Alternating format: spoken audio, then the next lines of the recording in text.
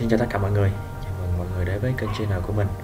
Hôm nay mình làm clip này sẽ hướng dẫn mọi người một cái ứng dụng rất là hay và hữu ích trên Win 7 Ứng dụng này, nó có tên là Stowit Logon Ứng dụng này giúp các bạn thay đổi hình ảnh mặc định của Windows 7 và tùy biến vào đó là một hình ảnh cực kỳ mới và tùy theo ý thích của bạn muốn chọn hình nào, tùy ý thì à, cái link tải mình sẽ để đường theo cái, đường mô, mô tả bên dưới.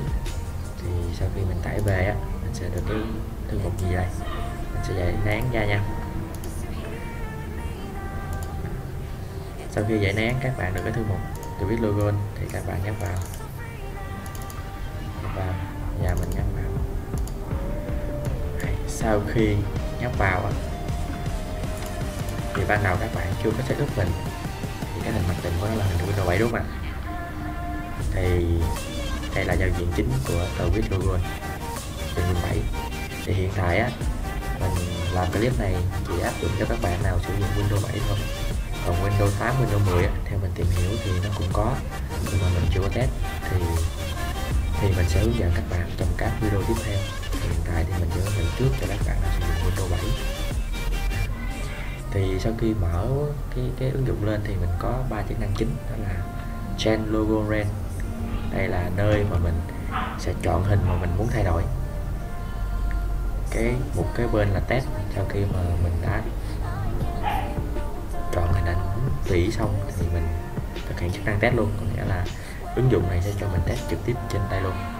À.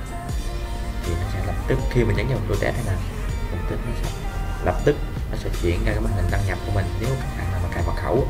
Còn nếu mà các bạn không cài mật khẩu nó vẫn xuất hiện ra để cho mình thấy cái hình mà mình đã thay đổi.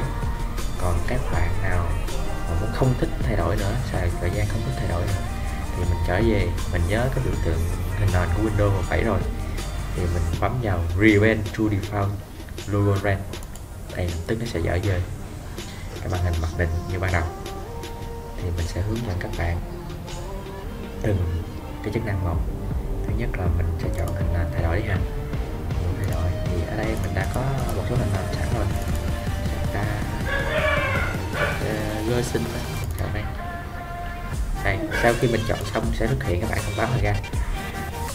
Các bạn thông báo này có nghĩa là hình nền nó sẽ tự điều chỉnh kích thước theo đúng cái cái màn hình của mình. Nếu mà các hình nền của các bạn á, càng lớn thì cái độ nét hình nó càng cao. Nên của bạn kích thước nhỏ thì cái độ nét của nó càng thấp. À, thì các bạn lưu ý khi mình tải hình hoặc mình có hình thì chất lượng cao vẫn là ok hơn. À, sau khi mình thay đổi xong thì như vậy đó. Mình muốn test thì mình muốn test thì nó xuất hiện cái trang cái cái cái cái của mình hiện tại đây tại vì tại là mình nếu mà bấm test thì nó sẽ tạo ra màn hình đăng nhập thì nó sẽ không quay được cái test các bạn tự thực hiện đi ha còn chức năng cuối cùng là mình muốn quay lại nè sang thời gian mình thích nè.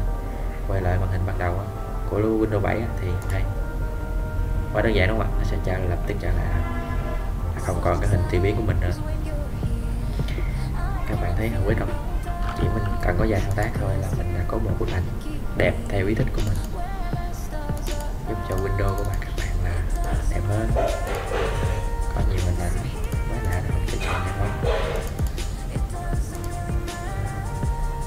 Đây chỉ là clip uh, thực hiện cho các bạn đã sử dụng Win 7 thôi nha. Còn những clip sắp tới mình sẽ làm Win 8 hoặc là Win 10 Nếu các bạn ủng hộ mình hãy like và subscribe kênh của mình để mình có động lực làm những clip tiếp theo nha. Và đừng quên hãy like comment bên dưới hãy cho mình biết ý kiến của các bạn về clip này nha. Cảm ơn tất cả các bạn.